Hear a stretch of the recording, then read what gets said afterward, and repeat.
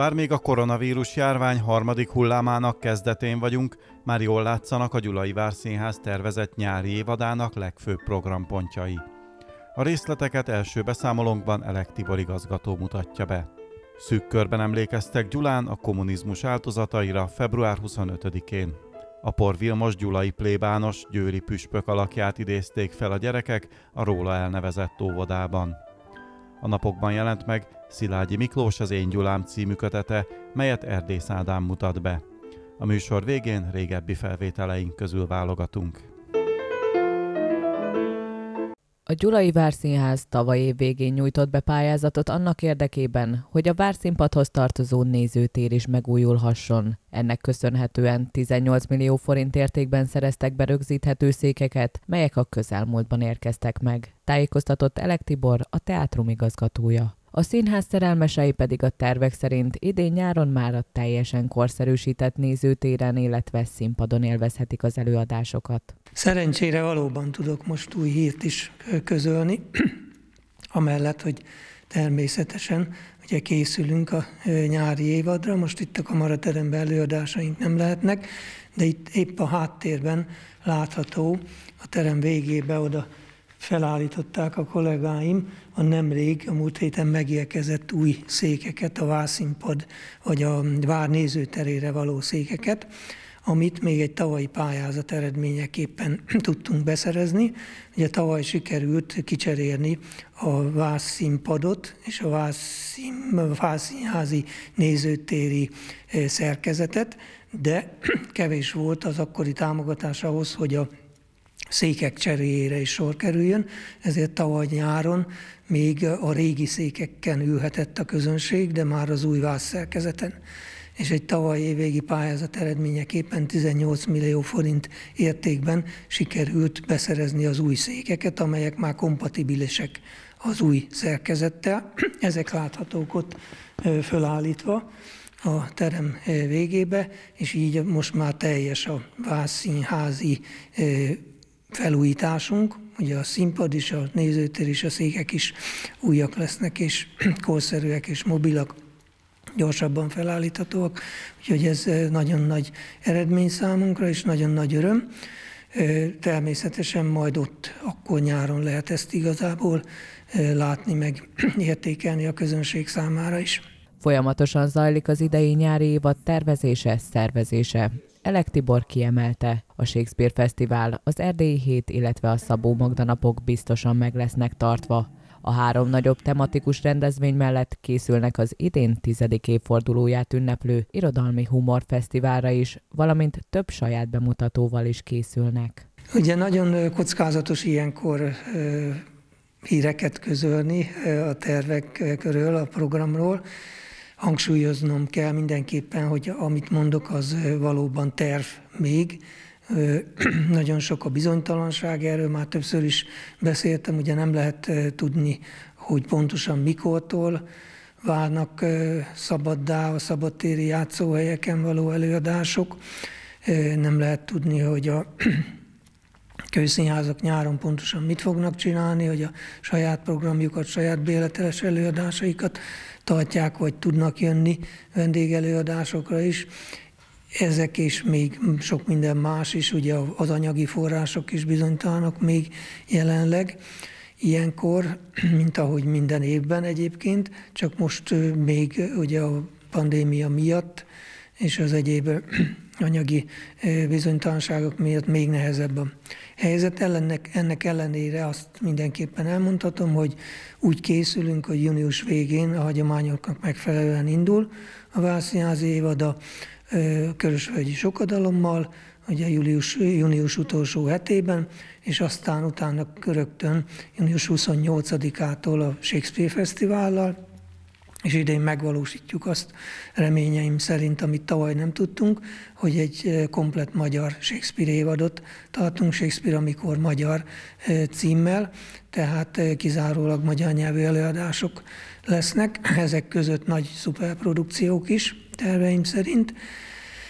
és aztán biztos, hogy meg fogjuk tartani az erdélyi hetet, augusztus másodikától nyolcadikáig, amiben szintén nagyszabású produkciók is lesznek, látványos előadások, és az évadot augusztus közepén, augusztus 16-tól 18-ig Szabó Magda napokkal tartjuk, zárjuk, amikor három nap alatt reményeim szerint hat produkciót tudunk megtartani, ezek között is lesznek vászínpadi, tószínpadi, kamaratelmi előadások, művelődési ház beli előadások, tehát ez is sokszínű lesz, mint ahogy az egész évadunkat a tavalyihoz hasonlóan. Sokszínűre és nagyon gazdagra és nagyon tartalmasra tervezzük, mert az általam említett három fő programsorozat között nagyon sok szórakoztató előadást szervezünk, látványos tószínpadi, vászínpadi produkciókat, zenés előadásokat, vígjátékokat. Lesznek ugye a zenei fesztiváljaink, a Halmos Béla Népzenei és Világzenei Fesztivál, idén Blues Fesztivál lesz, utána lesz Irodalmi Humor Fesztivál augusztus 10-én, immár a tizedik 20 éve szervezem meg ezt a Irodalmi Humorfesztivált, tehát azt hiszem, hogy nagyon gazdag és tartalmas programsorozattal várjuk majd a gyulai nézőket, illetve az ide látogató üdülő vendégeket.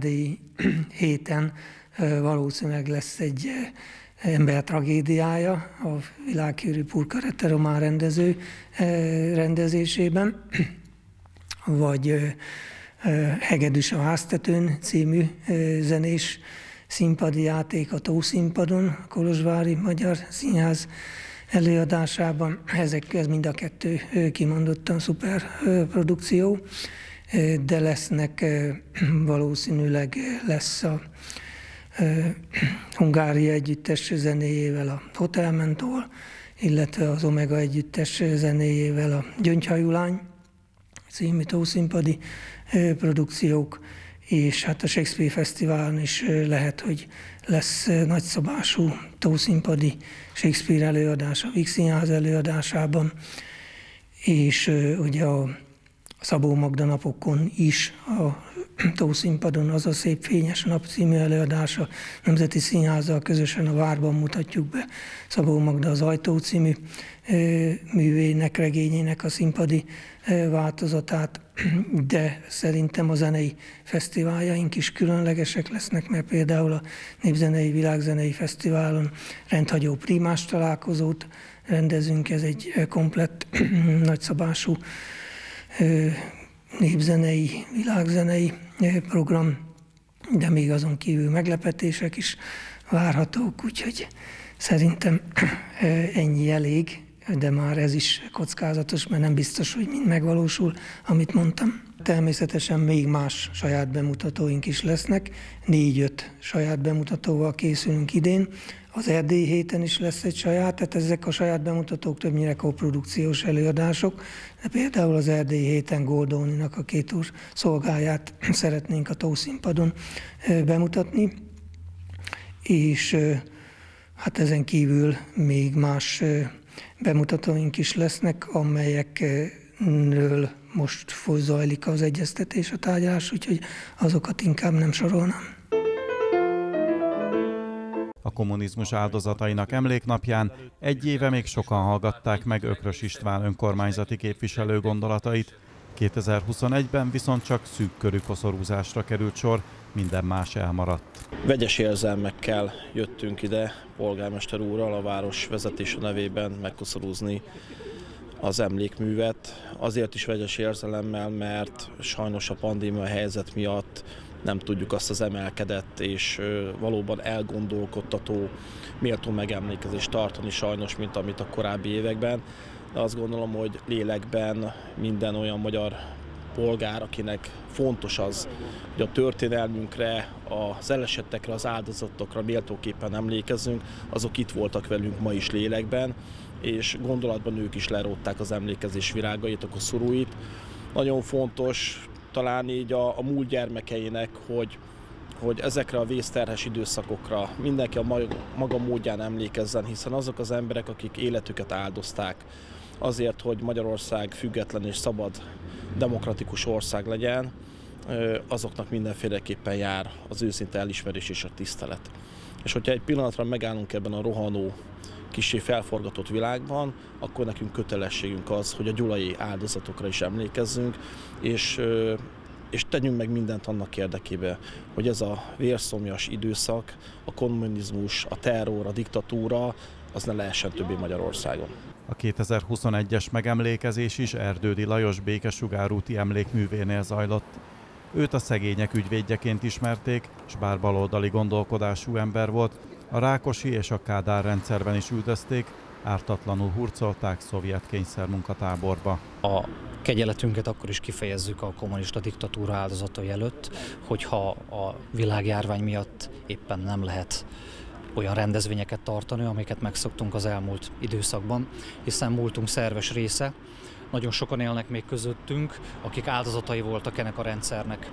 Itt nem csak a 100 millió világszerte 100 millió halálos áldozatról beszélünk, akiket meggyilkoltak egy utópia érdekében, ami természetesen soha nem is valósult meg, hanem emlékezünk mindazokra, akiknek az életét tönkretették politikai alapú börtönbüntetéssel, politikai perekkel, vagy éppenséggel, akiknek az életét úgy tették tönkre, hogy a szakmai pályafutásukat lehetetlenítették el, derékba törték, vagy a továbbtanulásukat akadályozták.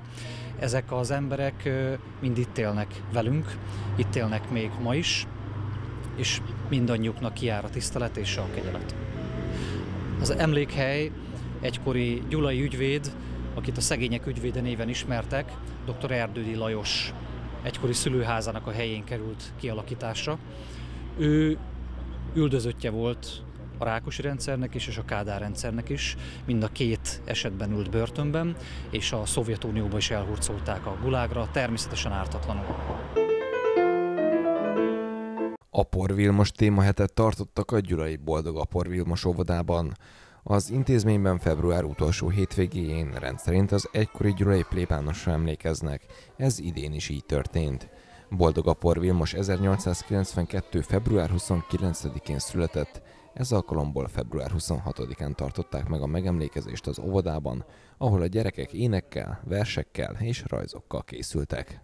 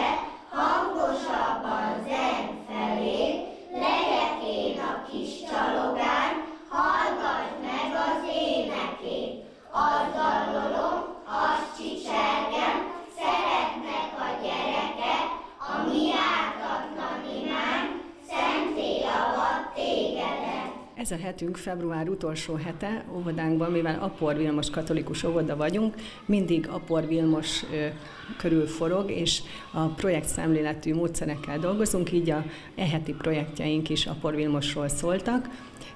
Ugye az óvodánk is egy vallási szemléletű vallási központú óvoda, és igyekszünk azokat az értékeket közvetíteni a gyerekek felé, mind a tevékenységekben, mind pedig az óvodapedagógusok példájával, amiket Apor Vilmos is képviselt. És ez a hetünk is erről szólt, a gyermekek nagyon sok rajzot készítettek, ugye mivel ők nem ismerték a polvirmos, csak képről ismerik, ezért a gyermekek ezen a héten a rajztevékenységekben, illetve vizuális tevékenységekben igyekeztek inkább a mi templomunkat és a belvárosi templom előtt már oly sokszor látott Apor Vilmos szobrot megörökíteni a rajzaikban is, illetve magát a templomot, ahová ők is járnak diákmisékre és ezekből a rajzokból egy nagyon klassz kis mini kiállítást készítettünk, amit megtekinthetnek a kedves szülők is, ha ellátogatnak hozzánk. A mai nap pedig természetesen Apol Vilmosról szól, hiszen február 29-én született, és ezt a 29-ét most nem tudjuk megünnepelni, hiszen ez csak szökőjében van, így mára, tehát február 26-án pénteket tettük óvodánkban az Apol Vilmossal kapcsolatos megemlékezést, amit minden évben meg szoktunk tenni. Erre a napra a gyerekek versekkel és, és énekekkel készülnek, amit a kedves nézők is fognak majd látni valószínűleg. Harangoznak a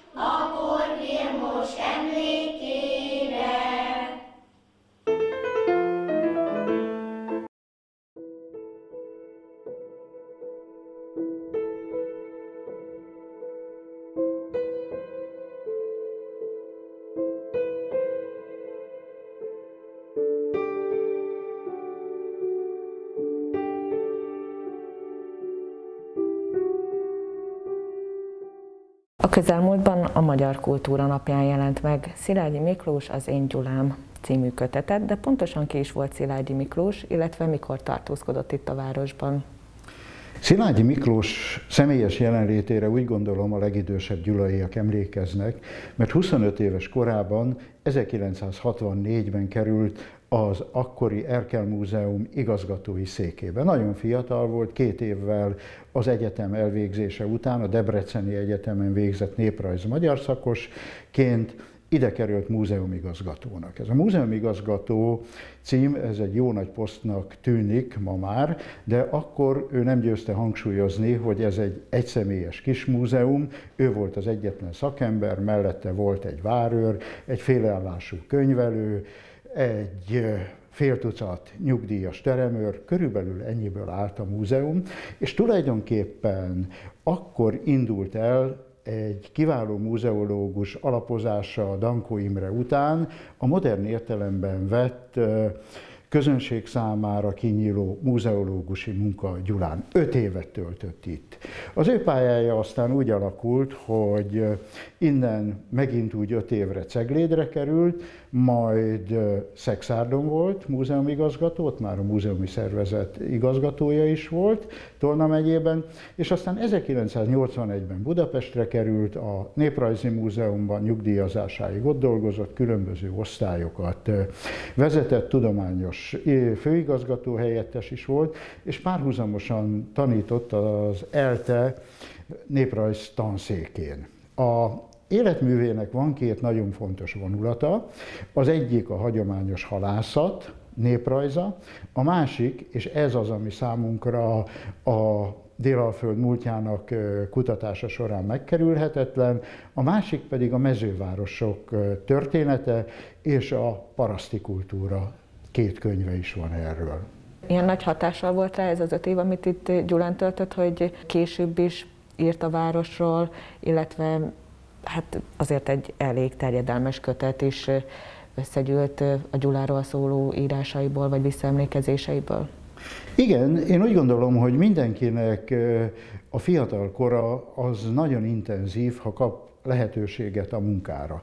Ő nagyon sokat dolgozott itt, különleges körülmények között, és maga ez a kézirat úgy került elő, hogy akkor, amikor ő meghalt, ez 2019-ben volt, a gyermekei Szilágyi Márton irodalomtörténész, illetve Szilágyi Zsófia irodalmár a gépében találtak több kéziratot. Az egyik kézirat, ez egy teljesen megszerkesztett kézirat volt, azon a címen szerepelt ott, hogy az én Gyulám. A kötet úgy jelent meg a levéltárban, hogy amikor Szilágyi Mártonék megtalálták ezt a kéziratot, amin ott volt a szerző által javasolt megjelenési hely, ugye az volt a címe, hogy Én Gyulám, és az volt felírva a kéziratra, hogy 2012 Gyula, vagyis ekkor fejezte be, de nem jelentkezett ezzel a kézirattal tudomásom szerint sehol, de jelezte, hogy ezt Gyulán szeretné megjelentetni. Eh, Szilágyi Márton, aki levéltárunk barátja, több konferenciánkon előadó volt, megkeresett bennünket, hogy ki tudnánk-e adni.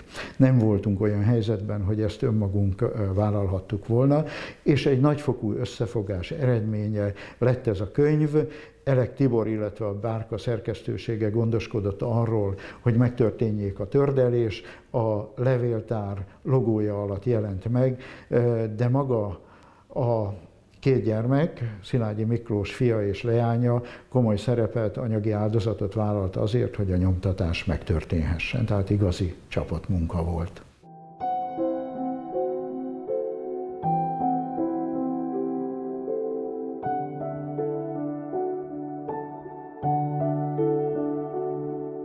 több fejezetbe rendezve a Gyulai életének a dokumentumai szerepelnek.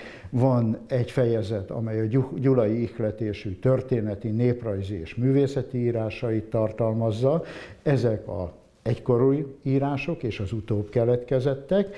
Azután van egy olyan fejezet, amelyben a 65 és 69 között itt publikált nagyobb részt újságcikkeit közli, ezek kiállítás megnyitók, beszámolók a vár, a múzeum akkori állapotáról. Van egy nagy fejezet, amely a Békés megyei helytörténeti irodalom legjavára reflektál, ez, ez az első írás 1966-ban indul egy nagy orosháza monográfiáról, és az utolsó írás, az, ha jól emlékszem, 2009-ből való, és a levéltárunk, valamint a Csongrád megyei levéltár közös kiadványára Szabó Ferenc 250 év az Alföld történetéből című kötetére, kötetéről ír, és van egy, harmad, egy utolsó fejezet, amelyben a visszaemlékezéseit közli. Hát itt kibontakozik egy nagy történet.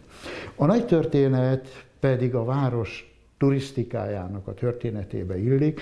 Ugye az, hogy Gyula a 60-as évektől fogva megtalálta megyeszékhely voltának elvesztése után az új jelentékeny gazdasági szerepét, az a turisztikának köszönhető. A turisztika mögött meg elsősorban a várfürdő állt, másodszorban az, hogy a történeti múlt, amelynek itt megmaradtak a, a látható nyomai, az a turisztika hajtóerejévé vált, ez dokumentálja Szilágyi Miklós könyve. A harmadik meg talán a Várszínház, és persze sor, tovább lehetne ezt sorolni. Tehát így egy, ezt a világot dokumentálja, ez a nagy történet. És számos kis történet kibontakozik ebből a könyvből, például a visszaemlékezésekből, elmeséli azt, hogy milyen körülmények között dolgoztak, hogy amit elértek, és ez nem kevés, az mennyire a viszonyok dacára született meg. Hogy amikor egy országos hírű Ferenci Noémi Goblein kiállítást idehoztak, mit, hogy kellett ezt megszervezni. Nevezetesen a pártvezetés idegenkedett ettől a gondolattól.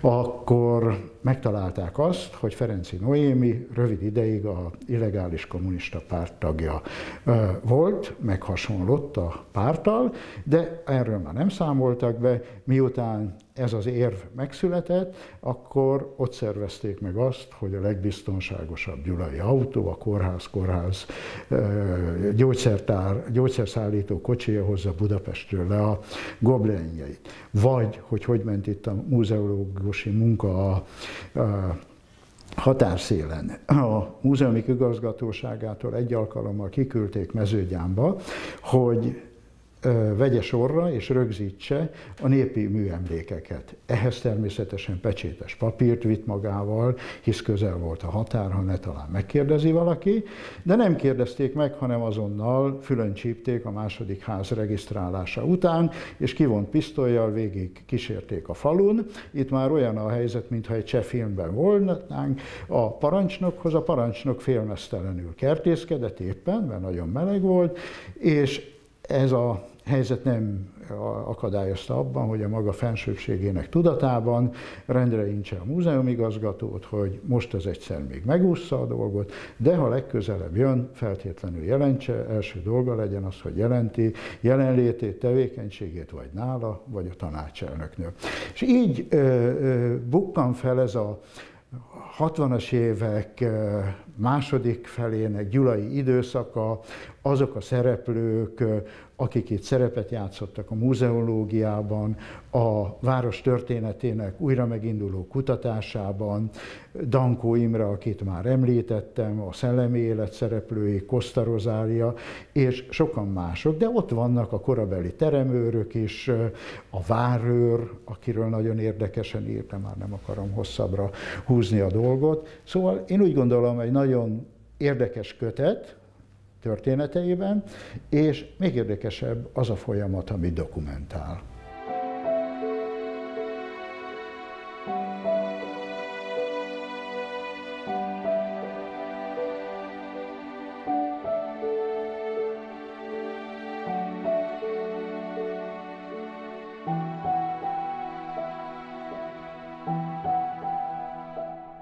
Kiknek ajánlott ez a könyv igazából, hogyha vannak benne ugye ilyen szakmai részek, ilyen tanulmányok, illetve a visszaemlékezés pedig úgy tűnik, hogy ilyen egészen olvasmányos, úgyhogy akár mindenki számára élvezhető lenne, de mégis hogyan áll ez össze?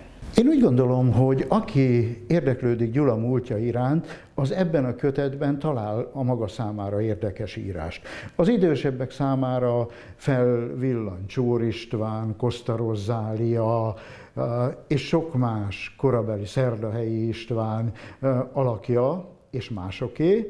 Én most az ismertebbeket mondtam, de ahogy említettem, ott van a Várőr is, akiről sztorik sorozata jelenik meg, hiszen ha már Várőr volt, maga követelte ki magának a múzeológusi státust, akkor úgy is kezdett el dolgozni és viselkedni. Benne vannak a korabeli viszonyoknak a rajzai, például az, hogy a múzeum sokszor úgy szerzett a kiállításhoz anyagokat, hogy a jobban dotált Várszínház ott hagyott eszközeit, anyagait használták fel, tették el jobb időkre. Ez az egyik vonulat.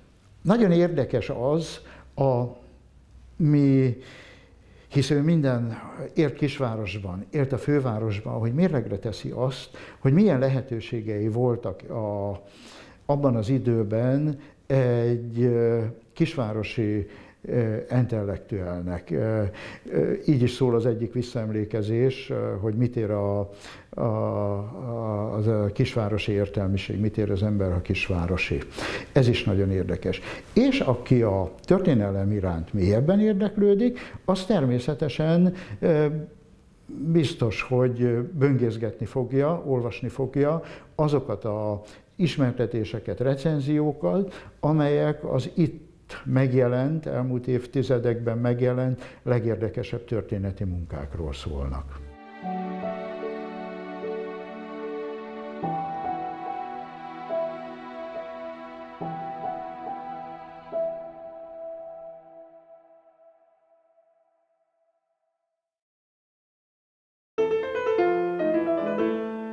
Szeretne festő lenni. Munkácsi Gyulán ezzel a címmel jelent meg Cegléd Imre új kötete a világhírű festő gyulai kötődéséről. A kötet a múzeumi füzetek sorozatban 1963-ban megjelent Munkácsi Gyulán című tanulmány második felújított kiadása. Dr. Cegléd Imre a könyvbemutatón elmondta, a korábban megjelent monográfiákban több téves adat is található. A szerzővel a könyv megszületésének történetéről beszélgettünk. Amikor fél évszázaddal el, előtt, ezelőtt kiadtuk a Munkácsi Gyulán című kis könyvecskémet, ami életem második kis kiadványa volt, fiatal tanárként, akkor tulajdonképpen az adatokat, a családi adatokat én átvettem a nagyoktól, végvári, végvári professzor, tehát a monográfia íróktól.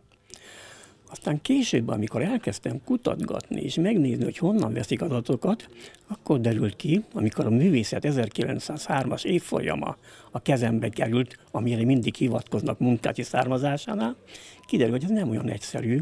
Ez csak, ez csak állítják, pontosabban feltételezték volna, de feltételezés helyett állították, hogy munkácsinak az őse ki volt, egy bártfai család, Lép család öt, öt generáción keresztül elmagyarázta a történetét, ahogyan a Bajor választófejedelemnek a titkára, utódai eljöttek Magyarországra, egyrészt egy ideig, néhány évig Sóváron is volt sóhivatali tisztviselő, de aztán Bártván telepettek le, és az ötödik, az ötödik generációról, aki 1770-ben született, azt nem feltételezték, állították, pedig feltételezni is nagyon merészség lett volna, de állították, hogy az volt Munkácsi nagyapja. Valóban lehetett, mert Munkácsi édesapja 1800 körül született, még akkor nem tudtuk pontosan, tehát 30 éves lehetett az illető, természetes dolog. Csak éppen azt írja az illető, a, ebben a tanulmányban, hogy sajnos nem találták Munkácsi édesapjának a születési anyakönyvét, kivonatát, hogy legalább pontosan tudták volna adatot, adatokat. Hát engem megütött, hogy lehet állítani valamit, amikor, amikor nem ismerik. Ezért egyszerűen fogtam magamat, amikor már muzeológus voltam, egy nyári ö, alkalommal átmentem Csehszlovákiába, akkor még Csehszlovákia volt, Eperjesre, ahol a anyakönyveket ö, összegyűjtötték, és na mondom, megpróbálom akkor meg kikutatni. Közölték velem, hogy szerezzek engedélyt. Milyen engedély? Hol? A belügyminisztériumban. Hol a belügyminisztérium? Azt se tudtam, mert Csehszlovákia esetleg Prágába ki tudtam. Na hát kiderült, Pozsony volt a belügyminisztérium, úgyhogy utaztam 400 kilométert, oda-vissza 800 kilométert, és már meg is kaptam az engedélyt. Megtaláltam Munkácsi édesapjának a, a születési anyakönyvi kivonatát, és kiderült, hogy nem Lébim Leo Mihály, hanem csak Mihály. És azt is megtudtuk természetesen ki volt az édesapja, az édesapja nem az a György János József volt, amit az a bizonyos kódex állít, hanem Ignác nevezető illető volt az édesapja. Sajnos az Ignác, mikor megnősült, az van beírva, hogy parentész ignorabilis, szülők ismeretlenek. Tehát egyszerűen nem lehetett volna kutatni tovább a, a munkácsi őseit. Tehát a nagyapjáit tudunk menni, de már dédapját nem tudjuk, bár végvári nem, ott van, dédapja is ki volt, de ez is csak föltételezés, pont pontosabban a bárfai kódex alapján, de ez természetesen nem igaz. Na, lényeg az, hogy sikerült ezt elintézni. Dr. Cegléd Imre elmondta, az, hogy Munkácsi ilyen művész lett, abban nagy szerepe volt Gyulai tartózkodásának, amihez számos véletlen is párosult. Ha nem jön haza annak idején beteg nagybátyjához Gyulára, és nem találkozik azokkal, akik meglátják tehetségét, nem biztos, hogy a világ ma ismerne egy Munkácsi nevű festőművészt, akinek a pályája rajzolgatással indult. Munkácsi Gyulai életére a legfontosabb forrásunk Munkácsinak az önéletrajza, amelyet ő megírt 200 oldalon kézirattal, 1885-től 89-ig négy hosszú levélben írta meg a barátnőjének, aki érdeklődött, úgy látszik, hogy sokat beszélt a, az, a múltjáról, éveiről, mert nagyon, nagyon bőven ír róla, tehát a szenvedéseiről, ezért megírta, és 1897-ben nyomtatásban is kiadták Párizsban. No, ezt lefordították magyarra, 921-ben és 950-ben két nagyobb fordítás élt meg. Ezt használtam én is, a 921-est akkor még, amikor megjelent az első kiadványom. Csak aztán, amikor sikerült megszereznem a francia kiadást, 1897-es, két helyen van Magyarországon, Pesten van a Széchenyi Könyvtár, vagy a galériában, és egy, a Szegedi Egyetem egyik egyetemi könyvtárában, nem a központiban, hanem egyik osztálya. Na, sikerült megszerezni, akkor derült ki, amikor az én francia tudásommal megnézegettem, hogy itt a fordítás helyett néha ferdítettek is rajta, mert így érdekesebb, hogyha összeütközést csinálnak munkácsi és nagybátyja között, tehát a vitát erősítik, ami nem is volt esetleg. Ezért most hozzáfogtunk, és az egyik itteni francia tanárnőnek a segítségével a gyulai részt lefordítottuk, és ez 27 oldal új fordítás. Ezt közöljük most a könyvben. Mégpedig úgy közlöm, hogy teljesen, tehát nem dolgozom be a szövegbe, hanem a fordítást mindig külön bekezdéssel, kurzívval, tehát döltbetűvel, hogy az illető lássa, hogy mi az igazi, az eredeti. Tehát így dolgoztam be a könyvben. A lehetőség, mivel azóta nyomda technika, még a pénz is fejlődött egy kicsit, nem a múzeum adja ki, hanem a város adja ki, azért újabb és újabb képanyaggal igyekeztünk gazdagítani. Egyrészt Munkácsinak a környezetét, másrészt pedig Munkácsinak a Gyulán készült rajzait, gyerekkori rajzait, a úgynevezett Gyulai vázlatkönyvet, annak a 18 rajzát szépen bevettük egytől egyig. Munkácsi életében az a legérdekesebb, hogy hogyan lett Gyulán asztalos legényből, igaz, hogy Gyulán inosnak mondják, de hát két és fél éve már legény volt, úgyhogy felejtsük el, hogy Gyulán inos volt. Tehát asztalos legényből hogy lett ő festő? Pontosabban festő, inos, ugye, hogy kicsit humorizáljunk a dolgon. Véletlenek sora. Hát a véletlenek sor azzal kezdődik, hogy Rög Pista bácsi, akihez haza kellett jönni, mert nagyon beteg lett, nem tudott dolgozni, 15, de, 15 darab zsemle volt a napi adagja, 5 darab, tehát reggel, délbe, este 5-5 zsemlét evett meg, most ettől aztán beteg lett, maláriás lett, stb. És akkor haza kellett jönni, és az a haza pont abban az évben Gyula volt. Ez az első véletlen. A második, jönnek utána olyan apróságok, amely a festészet felé irányította a munkácsit. Először is elkezd rajzolgatni, hogy mit csináljon a gyerek, mikor második, minden másnapra kivert a láz, de minden következő nap viszont jól érezte magát, csak gyenge volt. Hát rajzolgatta a falon lévő fest, festményeket, vagy rajzokat, másolgatta. Egyiknél Széchenynek az arcképénél azt mondja, Pista bácsi, mikor megnézi, te tényleg talán még festő is lehetnél. Most ezt Pista bácsi csak úgy mondta, de Munkácsi vagy Miska komolyan vette. Ezt ő kezdő festőnek gondolta magát, és meg lesz botránkozva, amikor Pista bácsi mondja neki, hát ezt komolyan vetted. Hát hogy, hogy, hogy nem? Hát ő festő már. 1861. februárjában Fischer Károly rajztanárnál ismerkedett meg Szamosi Jelek festővel, aki a Gyulai Weinkeim kastélyban dolgozott. Márciustól már ő tanítgatta, majd vette magához munkácsit. Pista bácsi aztán volt az a gyakorlott ember, aki azt mondja, ne össze-vissza festegessen is Széchenyi képet, mert soha nem fog neki szüksége lenni rá, mint asztalosnak, egyszerűen tanuljon rajzolni rendesen, barok bútorokat például meg hasonló. Elküldte Fischer nevű festerhez, vagy mesterhez, aki a közelben lakott, most megtaláltuk, hogy a 11. számú épületben volt Gyulán, ez pedig ma a vízügyi igazgatóság mellett a vízügyiek a, a kiállító terme, a régi belvárosi fürdőépülete volt. Na, oda ment hozzá, és ezt most fedeztük fel, mert egy fél mondattal sikerült ö, felfedezni, hogy fél, fél mondattal mondja munkáció, hogy hol is volt. Tudnék, mindenki azt gondolta eddig, hogy a kettes számú iskolában volt, mert az volt a rajziskola, a mostani belvárosi római katolikus iskola. Nem, munkáció azt mondja, hogy elment a mesterhez, amely egyben az ő otthona is volt. Na hát ez eldöntötte, hogy ez szerint akkor ebben a bizonyos belvárosi mai vízügyi bemutató teremben volt a, az első rajzeckét, ott vette és itt éri a következő. Na, Munkácsi most újabb, újabb érzéssel ö, lovalta magát bele azzal, hogy ő festő. Mert most viszont egy festőnek a szobájában volt, tele ecsettel, palettával, minden, úgyhogy megismerte a környezetet. Keveset tanult ő, ahogy mondja, de legalább a környezet az nagyon hatott rá, mert beleélte magát, hogy milyen a festészet. Egy újabb dopping volt számára és jön a következő, ő háromszor egy egy-egy órát vett egy héten, minden másnap, amikor nem volt beteg.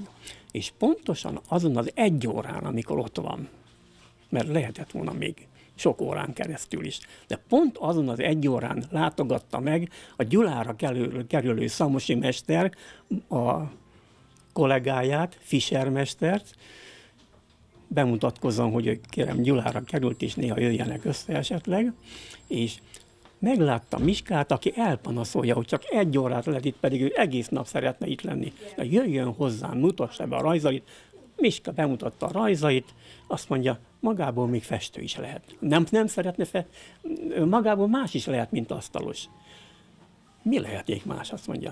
Hát festő mondja, kétszer írják ezt, ugyanis két, két fordításban írják, Munkács is kétszer írja. Na, így aztán teljesen elhatározva, hogy festő lesz, és ö, oda is jár. Szinte Rögbács talán nem is tud róla semmit, hanem utána Munkácsi meggyógyult. Már úgy az megint egy külön tészta, hogy ő megevett egy fazék káposztát, és a káposzta meggyógyította, nagyon jó gyógyszer, úgy látszik, másnaptól kezdve nem volt láza. Hát azt mondta a Pista bácsi, hogy hát akkor menni kell, most már vissza asztalosnak, azt mondja, vett fel megint a munkát. De hát én festő vagyok, mondja munkácsi. Hát hogy, hogy festő? Komolyan vetted, stb. stb. Egy purparlé van közöttük, egy olyan vita, és hogy be, bebizonyítsa, azt mondja, úgy gondolt, hogy lerajzolja a nagybácsit is. Mégpedig ott volt egy vendégségben egy néhány ember, de volt közöttük egy nagyon hozzáértő ember, a szomszéd Schuster. A, mikor lerajzolta, a Schuster megállapította, hogy nagyon jó, szakasztott rökül, rök úr, kiköpött ő. Ez volt a megállapítás. Hát ez úgy látszik nagyon, nagyon szakavatott dicséret volt, mert Pista bácsi belenyugodott, és viszont annyit tudunk a Szamosi ön, önéletrajzából, hogy ettől kezdve viszont rábízta Szamosira a Miskát különben Pista bácsinak le is járt a Gyulán a, a hivatali munkálkodása. Megszűnt az az állapot, amikor egy évig itt lehetett megint megye, utána visszajött a, a régi abszolutizmus, Ausztria abszolutizmusa, és elköltözött gerendásra. Hát ez az a véletlen, amit nem tudom, hogy hány embernek adatik meg életébe, a nagyok mi, hogyan lettek valakik, a nagyok, ugye, de az, hogy Gyulán ilyen véletlen sorozatából lett munkácsi festő asztalos legényből, hát az egy csodálatos dolog.